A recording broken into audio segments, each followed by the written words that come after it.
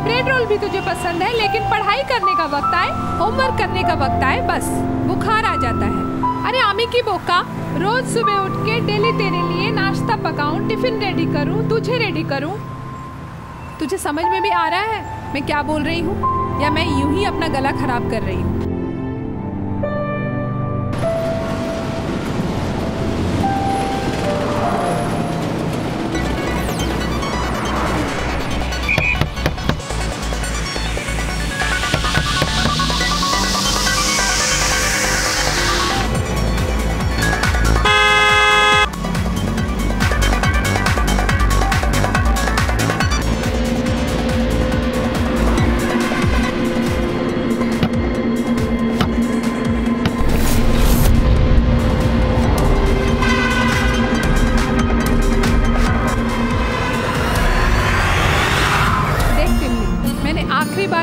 Last warning दी थी, आज भी बोल रही पढ़ाई तो तुझे करनी पड़ेगी, कोई बहानेबाजी नहीं चलेगी। समझ में आई?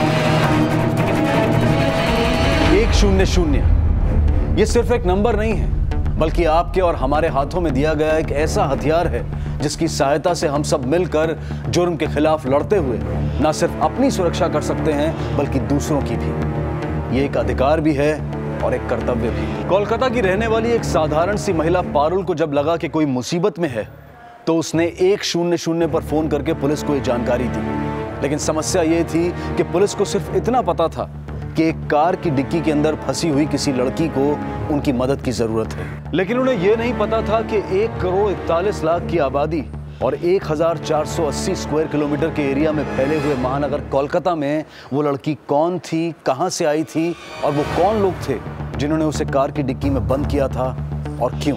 क्या यह कोई साधारण अपहरण का मामला था या व्यक्तिगत रंजिश का नतीजा था? या फिर लहू से जुर्म की एक ऐसी हैरत अंगेज कहानी लिखी जा रही थी, जिसका हर हिस्सा न केवल चौंका देने वाला था, बल्कि जानलेवा भी। खबर मिलते ही पुलिस ने फ़ौरन कार्रवाई शुरू कर दी, और पारुल के बताए हुए रजिस्ट्रेशन नंबर के सहारे वो बहुत जल्द कार के मालिक के घर जा पहुँची।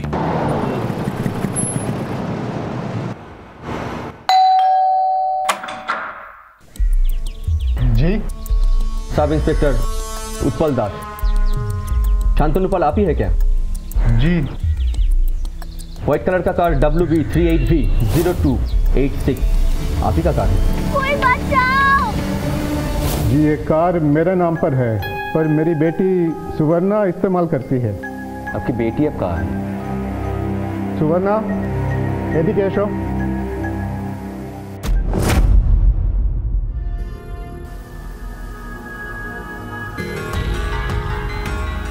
तुम्हारी कार किधर है? वो तो छीन के ले गए। छीन के ले गए? कौन? नहीं मालूम।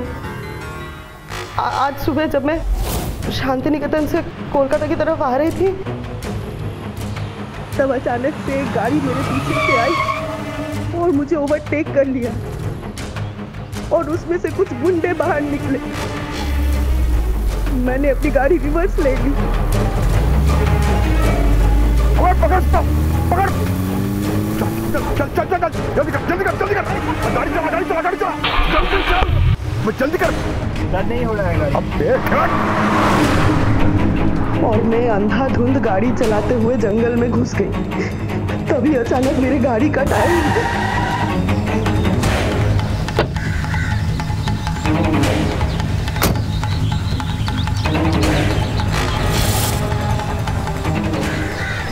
भी अभी पंक्चर होना था।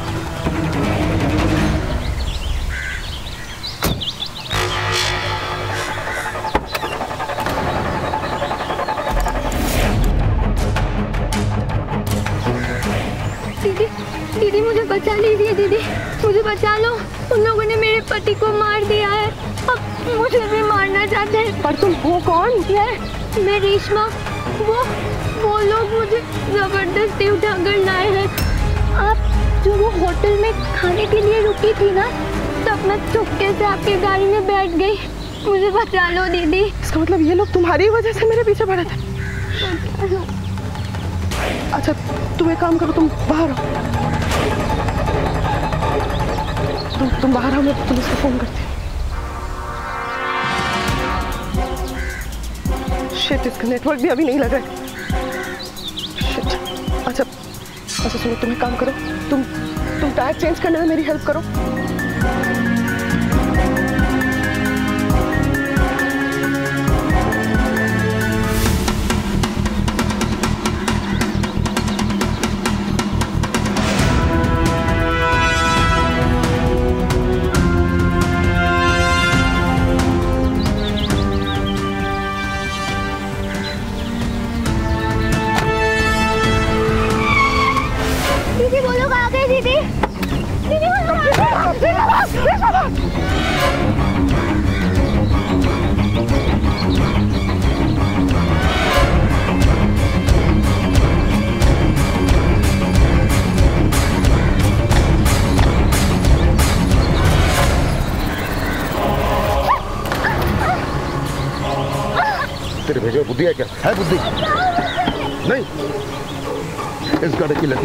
मिली? तो कहाँ जाकर छिप गई है? सुन हम दोनों ये गाड़ी लेकर निकलते हैं। उस साली को यहीं मरने दे। चल चल चल चल निकल निकल।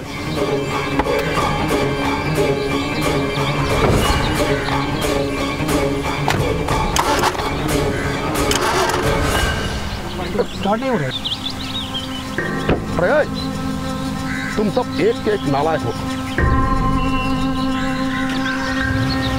सुन लगता है ये गाड़ी का बैटरी खराब है। आसपास किसी गैरेज में जाके ये बैटरी चेंज कर चेंज करके जल्दी अपना अड्डे में आ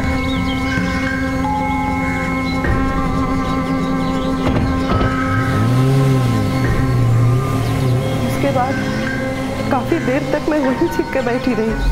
फिर सड़क से आके बस पकड़ के तब कोलकाता पहुँची। उस गाड़ी का नंबर याद है? नहीं नंबर कुछ याद नहीं है लेकिन ग्रे कलर का एसयूवी था। इतना पक्का है? उनमें से किसी का नाम लेके पुकारा था? नहीं, नहीं मुझे कुछ याद नहीं आ रहा। लेकिन जो मेन आदमी था उसके लंबे बाल थे और उसने कैप पहना हुआ था मुझे और कुछ याद नहीं आ रहा। है उसके बाद से ये बिल्कुल डरी हुई है। Hello hello ACP Indrajit here grey colour के एसयूवी का नंबर पता नहीं चला मगर उसका स्टार्टिंग प्रॉब्लम हो रहा था। आसपास के कोई गैरेज में वो बैटरी चेंज करने वाले थे। ओके वो वारदात कहाँ हुई? बोलपुर के चौहट्टे गाँव के पास। ओके कुछ और डिटेल मिले तो मुझे तुरंत इन्फॉर्म करना।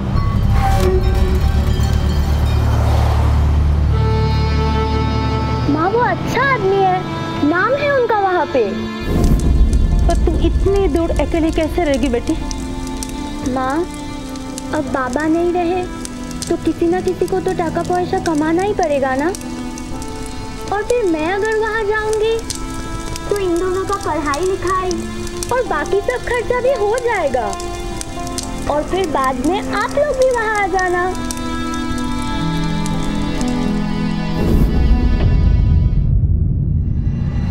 इतनी कम उम्र में रेशमा पैसा कमाने के लिए कहाँ जाने की बात कर रही थी? और जो लड़की अपने भाई बहन के भविष्य को सजोने के लिए घर से निकली थी वो उस कार की डिक्की में कैसे पहुँच गई? इन सभी सवालों का कोई जवाब नहीं था। कोलकाता पुलिस के पास सिर्फ़ एक सुराग था और वो था कार का रजिस्ट्रेशन नंबर। जैसे जैसे वक्त बीतता जा रहा था, वैसे वैसे ये केस और पेचीदा होता जा रहा था।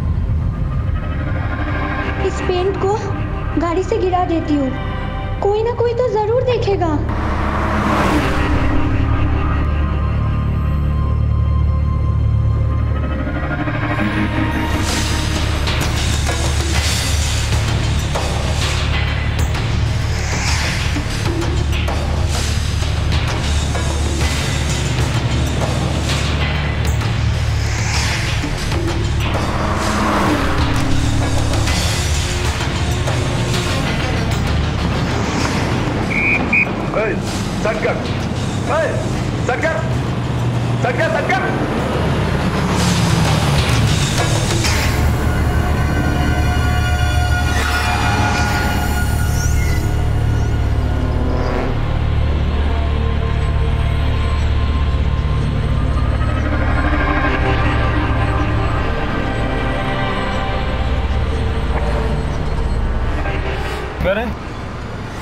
में क्या है?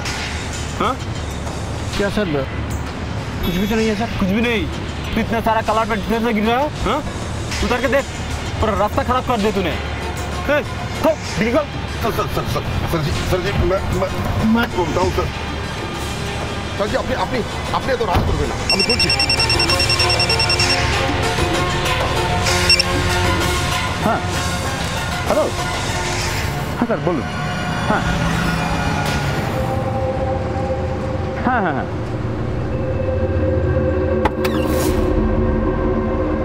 स्मार्ट बच्चिश है? चुपचाप से यहाँ पे लेटी रहे। ज़्यादा चालाकी करने की कोशिश की ना तो तेरी ये दोनों आँखें मैं निकाल लूँगा। Okay sir hello control room control room या हेलो एक मारुति गाड़ी है वाइट रंग की प्राइवेट नंबर है। The number is W B three eight B two zero eight six इसको रोको अगर कहीं भी दिखे तो। इसका बैकलाइट फूटा हुआ है। पॉसिबिलिटी ऑफ़ किडनैपिंग केस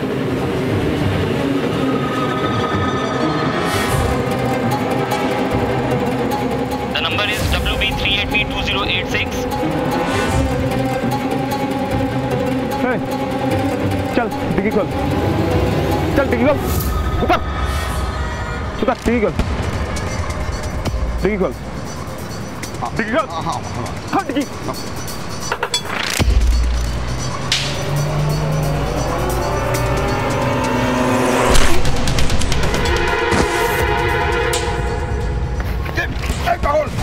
पागल ये तूने ये ये तूने क्या किया पुलिस वाले को मार दिया अरे ऐसे नहीं मारता तो हम दोनों मारे जाते कैसे अभी अभी इसकी वॉकी में खबर आया था। वो कहाँ गया वॉकी सारा कलकत्ता का पुलिस ढूंढ रहे हुए रुक रुक रुक।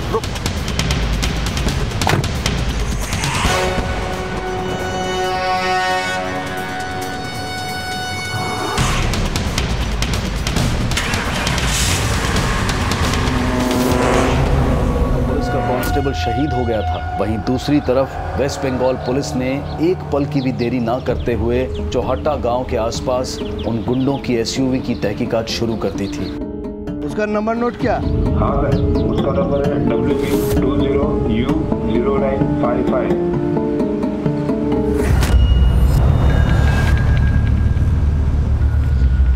तो गाड़ी की चाबी शिल्पी को देके निकल जा। हम लोगों को थोड़ा लंबा चक्कर काट के आना पड़ रहा है। हाँ हाँ ठीक है ठीक है ठीक है। जब ज़रूरत होगी तो मैं तुझे कॉल कर लूँगा। ठीक है चल।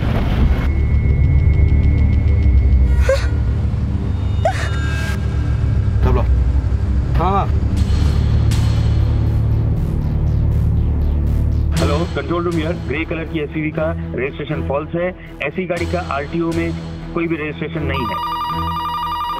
हेलो मेरा नाम मानिक दास है सर मैं गोल्फ क्लब रोड से बोल रहा हूँ। यहाँ पे एक बाइक लावारिस पड़ा हुआ है और एक पुलिस का वॉकी टॉकी पड़ा हुआ है सर टूटा फूटा क्या नंबर है बाइक की? W B zero one A G nine eight one five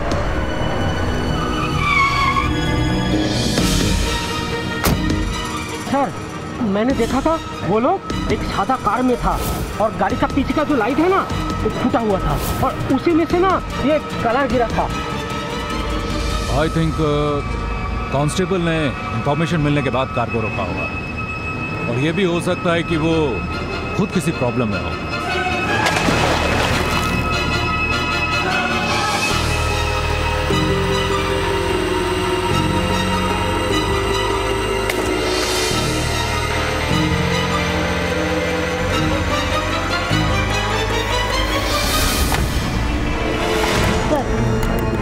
ये पेंट पीछे से आ रही है। इसका मतलब वो लोग बीटी रोड से आ रहे थे। और अभी साउथ कोलकाता की तरफ़ जाते हुए टॉलीगंज की तरफ़ मुड़ गए थे। चलो हम लोगों को उस तरफ़ चल के देखना चाहिए। हाँ let's move ACP Indrajit come online sir SUV का रजिस्ट्रेशन नंबर मिल गया है। नंबर नोट करो। The number is W B zero two three zero nine five five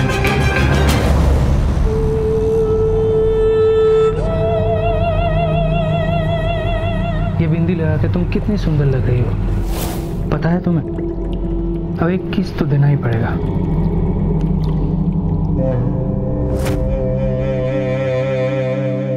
अब एक किस मैंने दिया है तो तुम भी एक किस दो नहीं लेट हो रहा है चलो।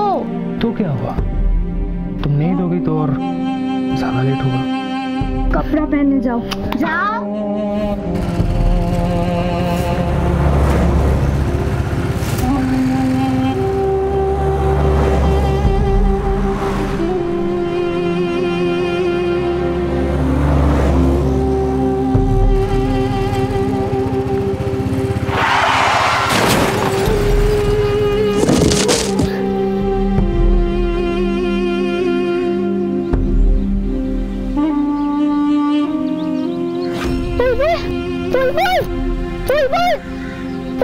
बुलबुल उठो बुलबुल बुलबुल बुलबुल उठो बुलबुल बुलबुल उठो बुलबुल उठो बुलबुल बुलबुल उठो उठो क्यों कर रहे हो? जाके अपने आदमी से पूछ जा उसने ब्याह किया था तुझे? ब्याह किया था ना हम्म? दोबारा भागने की कोशिश की ना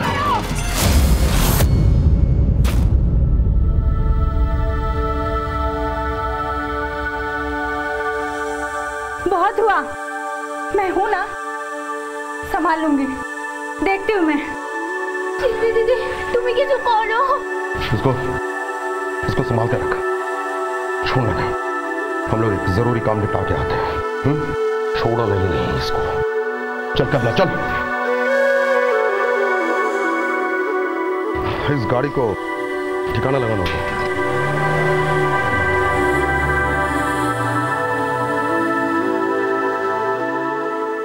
बुलबुल कोई नया आदमी तो नहीं था। उसे अच्छी तरह से पता है तुम्हारे साथ ऐसा नहीं करना चाहिए। बहुत गलत किया उसने। लेकिन दीदी ऐसी गलती की सजा मौत होती है क्या? क्यों मार डाला उनको? है? तू मार डाला उसको? हाँ बुलबुल को मार डाला। और मुझे ज़बरदस्ती ले आए। और रास्ते में एक पुलिस वाले का भी जान ले लिया।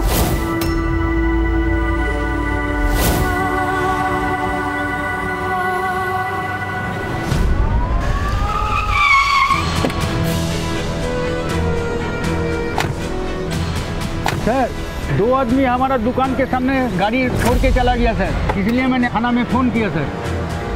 सर पूरा ब्लड ही ब्लड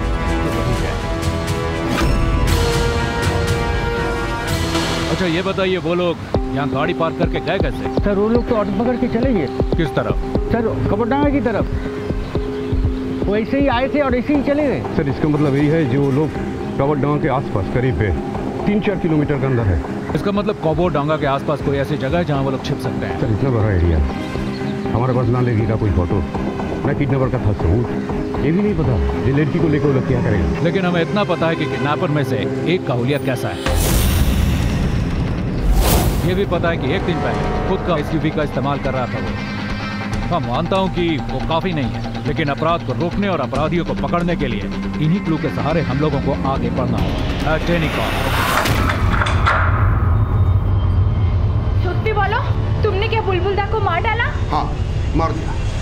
क्योंकि उसने गद्दारी किया था। जोगादार से धोखा किया था उसने। और वो पुलिस वाला उसको क्यों मार डाला? अगर उसे नहीं मारता तो पुलिस और गवर्नमेंट दोनों मिलकर मुझे फांसी पे लटका देती। अगर उनसे मैं बच भी जाता तो चौगदा चौगदा मुझे नहीं छोड़ता। मरवा देता। मगर अब मेरा क्या होगा? सोचा है तुमने? तुमने पुलिस वाले को मारा है ना? वो लोग तुम्हें छोड़ेंगे नहीं। कहीं भी जाके छुपोगे तुम्हें ढूंढ निकालेंगे। और इसके बाद क्या मैं इसको जेल में पैदा करूँगी? तो मैं क्या करूँ? अब मैं क्या करूँ? इसको छोड़ दो यहाँ पर और निकलते हैं यहाँ से दिल्ली मुंबई कहीं भी चले जाएँगे पागल हो गई पागल हो गई है हम्म? हम्म? उसको यहीं पे छोड़ दे हैं वो वो पुलिस को सब उगल देगी उसके बाद तुम लोगों का क्या होगा सोचा है वो सब मुझे नहीं पता बस इतना जानती हूँ अगर इसको हम लोग नहीं छोड़ेंगे ना तो मैं तुम्हें छोड़ के चली जाऊँगी शिल्पी शिल्पी शिल्पी ये मैंने क्या कर दिया शिल्पी दीदी आप ठीक हो शिल्पी शिल्पी ए कमला पानी दे पानी दे पानी दे। अब देखो अरे देखो। शिल्पी शिल्पी। शिल्पी दीदी। जल्दी जल्दी। शिल्पी शिल्पी शिल्पी शिल्पी शिल्पी।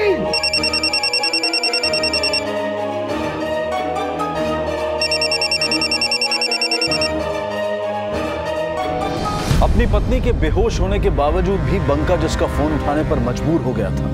जिसका नाम मोबाइल पर पढ़ते ही वो बुरी तरह से घबरा गया था। कौन था वो जोगादा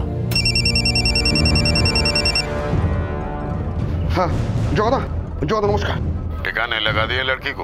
यहाँ पे गंडगोल हो गया है जोगादा? क्या करूँ कुछ समझ में नहीं आ रहा जोगादा।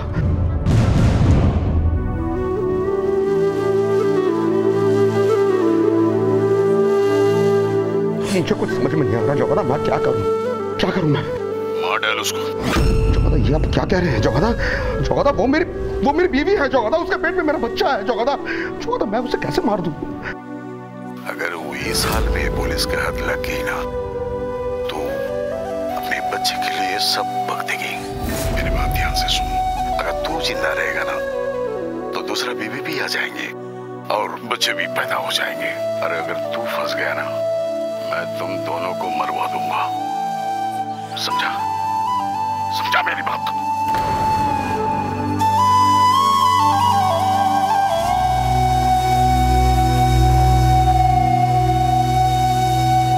दूसरी तरफ़ पुलिस उनके ठिकाने तक पहुँचने के लिए हर मुमकिन कोशिश कर रही थी। बिना किसी सुराग के अपराधियों तक पहुँचने के लिए पुलिस ने उस एरिया में पूछताछ शुरू कर दी। उसके पास लंबा सा मतलब बड़ा गाड़ी है और उसके अंदर एक आदमी है जिसका बाल लंबा लंबा है। देखा है इसको? और उनके पास एक व्हाइट मारुति भी थी। हाँ साहब ठाकुरबाड़ी में रहने वाले कुछ लोग एक बड़ा सा गाड़ी में घूमता है। और कुछ पता है इसके बारे में? सर वो लोग अक्सर पान और सिगरेट के लिए यहाँ पर आते हैं लेकिन ज़्यादा बात नहीं करते। कुछ झुलझल किस्म के लोग मालूम होता है सर। ये ठाकुरबाड़ी है कहाँ? फिर हॉस्पिटल मोड़ से आगे लेफ़्ट में घर है पूल के पास।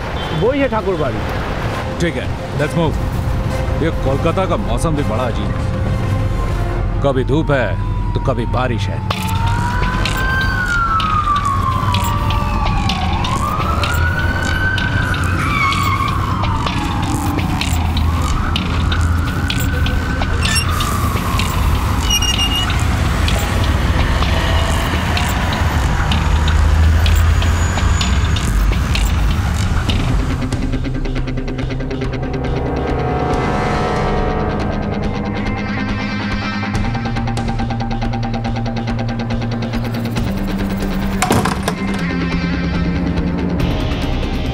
की अच्छे से तलाशी लो।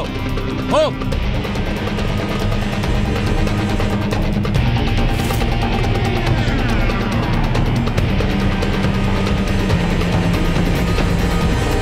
सर। यस ये पर्स मिला सर ये चौबीस परगना के दौतोपुकुर से कोलकाता तक का है सर। चार दिन पहले का है। हाँ सर। मतलब वो लोग उस लड़की को किसी जगह से उठा के लेके आए थे। सर जल्दी आइए।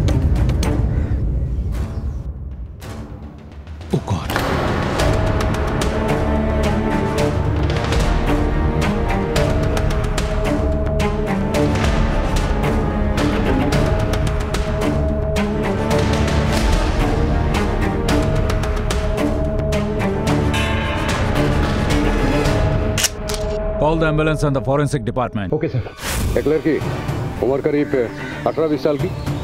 उसको हस्बैंड को मर्डर करके कल उसको किडनैप किया था। कुछ पता है इसके बारे में? नहीं सर आजकल मैं तो ऐसे किसी को देखा ही नहीं। ठाकुरबाड़ी किसकी है? सर इसका मालिक लोग तो यूएस है ना? अमेरिका? वहीं पर चला गया सर सब एक घर कई साल से बंद था इसलिए गुंडे लोग ज़बरदस्ती घुस गए। एक ग्रे कलर की एसयूवी देखा है आपने यहाँ पे? हाँ हाँ वही गाड़ी में तो वो लोग आता जाता था। और कौन कौन आता था यहाँ पे? और तो कोई नहीं। हाँ मगर दो तीन महीना में नया नया लड़की लोग इधर आते थे फिर चले गए थे सर। उस गाड़ी को आखिरी बार कब देखा आपने? करीब डेढ़ घंटा पहले वो दो आदमी आके फिर चला गया। सर वो जो लड़की का मर्डर हुआ ना वही लड़की हमेशा इधर ही रहता था सर। साथ में कोई लड़की थी? लड़की? नहीं लड़की तो नहीं देखा। सुवर्णा ने इंस्पेक्टर को बताया था कि रेशमा की उम्र लगभग 16-17 से ज़्यादा नहीं थी और जो लाश पुलिस को ठाकुरबाड़ी में मिली थी, वो एक 26 से 27 साल की प्रेग्नेंट औरत की लाश थी। ठाकुरबाड़ी में रेशमा और गुंडों की गैर मौजूदगी इस बात को भी साफ़ ज़ाहिर कर रही थी कि रेशमा को यहाँ से ले जाया गया है और संभव है कि वो अब भी ज़िंदा है। पड़ोसियों से पूछताछ से इतना साफ़ हो गया था कि ठाकुरबाड़ी और प्रोस्टिट्यूशन का गहरा रिश्ता है। लेकिन एसीपी इंद्रजीत के अनुसार वेशावृत्ति से जुड़े लोग सरेआम दिन दहाड़े पुलिस कांस्टेबल की हत्या करने का जोखिम नहीं उठा सकते। ऐसे में एसीपी ने तय किया कि लाश की फ़ोटो दत्तपुकुर पुलिस स्टेशन भेजकर पता किया जाए कि वो लड़की कौन है और उसका दत्तपुकुर से क्या रिश्ता है। रोगिंद्रो यस सर ये औरत चार दिन पहले हमारे दत्तपुकुर एरिया से कोलकाता गई थी। जहाँ उसका संबंध एक किडनैपिंग केस के साथ जोड़ा गया है। पता करो ये कौन है? ये तो शिल्पी है बनका की बीवी। बंका? जी। बंका कौन है? नोटोरियस है सर मर्डर केस में अंदर हुआ था पेरोल में बाहर होने के बाद से गायब है।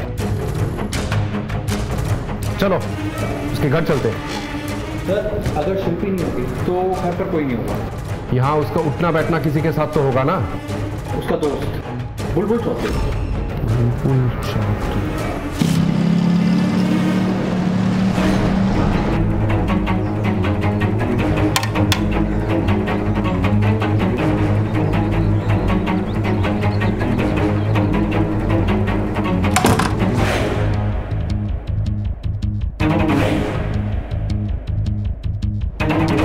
रेशमा को लग रहा था कि उसके पति की मौत हो चुकी है, लेकिन सच्चाई उसकी सोच से उलट थी। बुलबुल ज़िंदा था। पर अब सवाल यह उठ रहा था कि इतना सब कुछ हो जाने के बावजूद भी वो खामोश क्यों था? देख बुलबुल, एक भी झूठ बोलेगा ना तो बहुत फंसेगा। बंका, उसके बीवी का और तेरा सारा फ़ोन रिकॉर्ड में चेक करूँगा तो सब सच सामने आ जाएगा। उसके बाद अगर तू एक भी सच बोलता है ना, कोई फ़ायदा नहीं। तब तक तेरा बदन बहुत सूख चुका होगा रे। इसलिए फ़ायदा इसी में है अभी सच बोल। लेकिन सब आप लोग ये सब मुझसे क्यों पूछ रहे हैं? एक लड़की का कल अपहरण हुआ है। बोल क्या जानता है? सब मेरी बीवी है सब। ये फ़ोटो किसका है? ये तो मेरी बीवी का फ़ोटो है। अभी मायके गई है वो।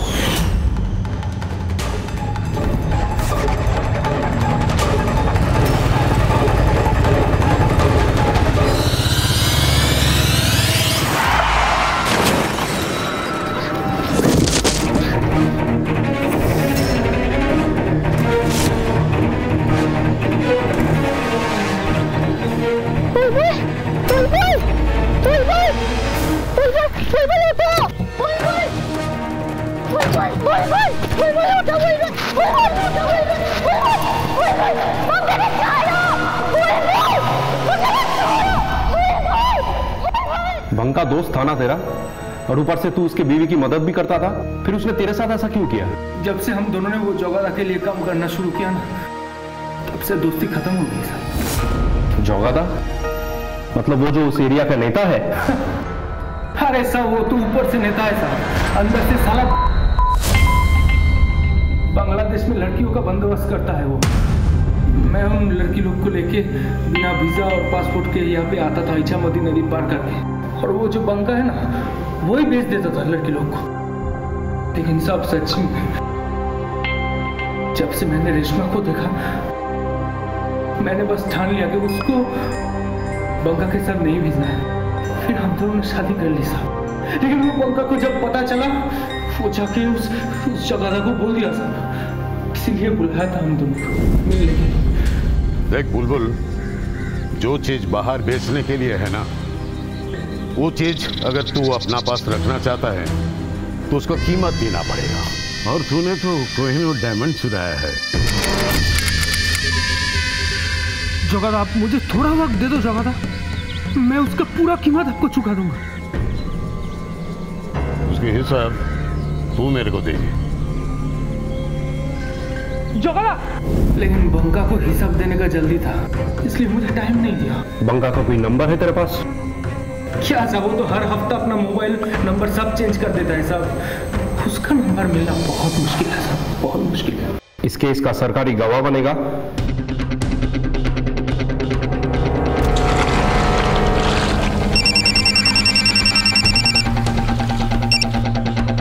हेलो।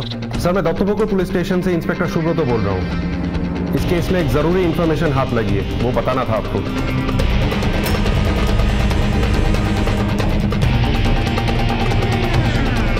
सर मुझे आपकी एक मदद चाहिए। I need a permission don't worry हो जाएगा। राइट सर ऑफिसर अब क्या बोल रहे हैं? अब मुझे पता है। सर ये मैं नहीं बोल रहा हूँ। इसने ब्लेम किया है आपके ऊपर। अरे बकवास। ये सब बकवास है ये सब। अरे कोई एक पागल है अम्मी। मेरे बारे में आपको कुछ बोले। अब मेरे से पूछताछ करने चले आए हो। आपको सीनियर ऑफिसर का नाम बताओ। उसका नंबर दो मैं बातचीत कर लूँगा। सर मेरे से बड़े सीनियर ऑफिसर्स की तो लंबी लिस्ट लग जाएगी। किस किस का नंबर दूँ आपको? आप सिर्फ़ इतना कीजिए। बता दीजिए बंका का कोई नंबर है कि नहीं आपके पास? अरे बाबा सर नाम तक पता नहीं। मेरे को आप नंबर से पूछ रहे हैं। Thank you very much sir लगता है आपसे दोबारा मुलाकात करना पड़ेगा।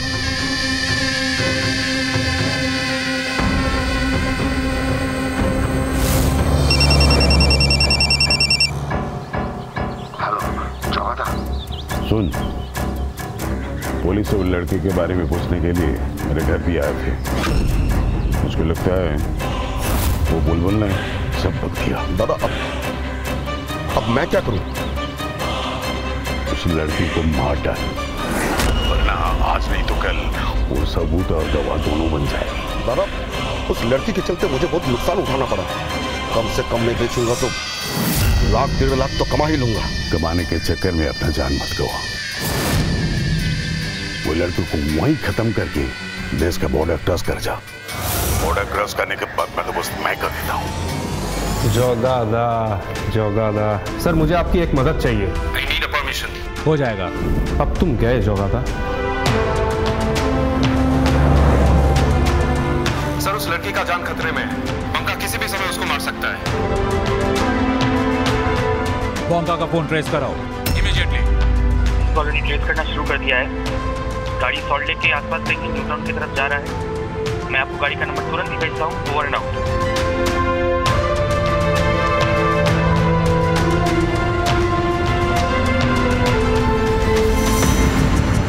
हाँ सर हम आ गए सर ओके सर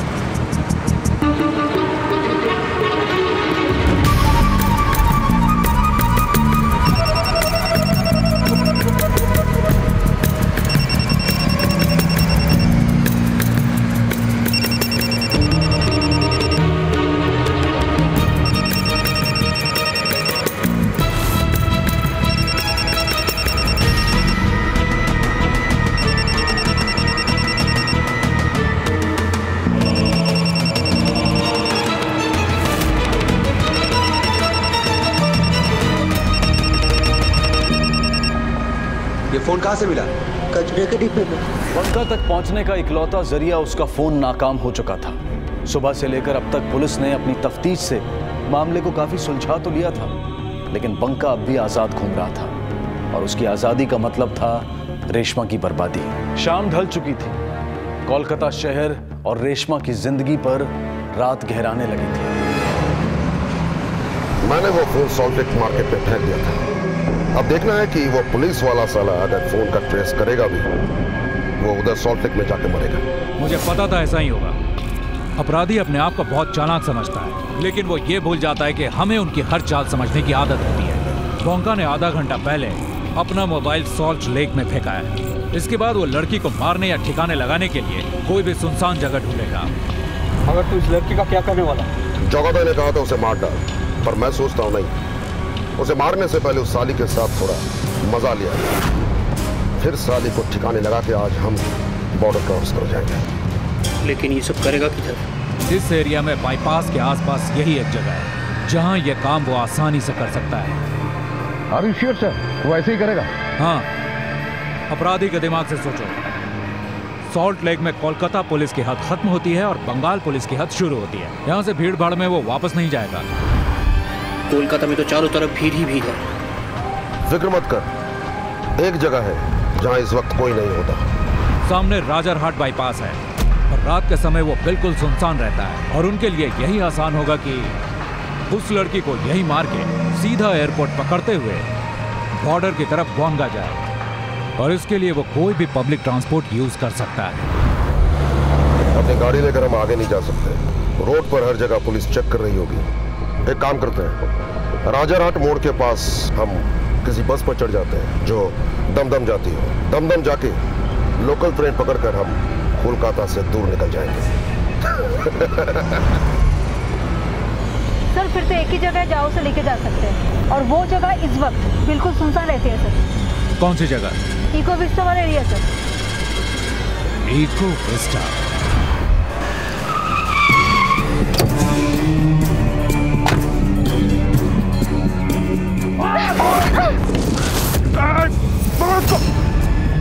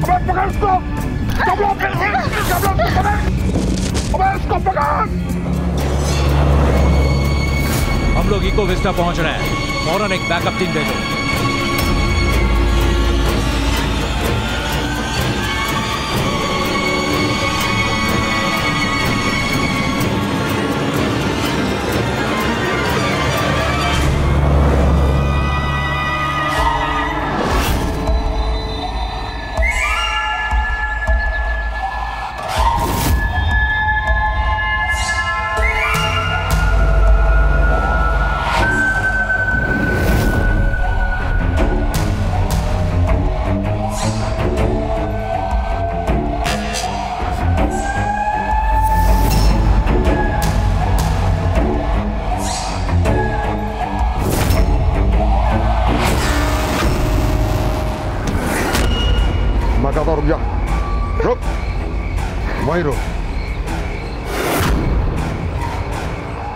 वहीं रुक अब अपने से कपड़े खोल वरना मैं अगर खोलूँगा ना तो इस कपड़े के साथ ना तेरी चमड़ी भी खोल दूँगा नहीं नहीं खोलेगी नहीं तो ठीक है फिर मैं ही खोलता हूँ इको विस्टा आ गया। अभी लाइट बंद करो और थोड़ा धीरे चलाओ। सर आगे गाड़ी देखिए। डिक्की खुला है। कोई नहीं इसके अंदर।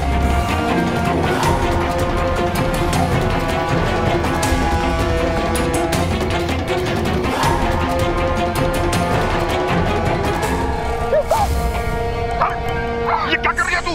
गई है क्या? क्या कर रही है? गई है गई है तुझे मरने का मौका ना।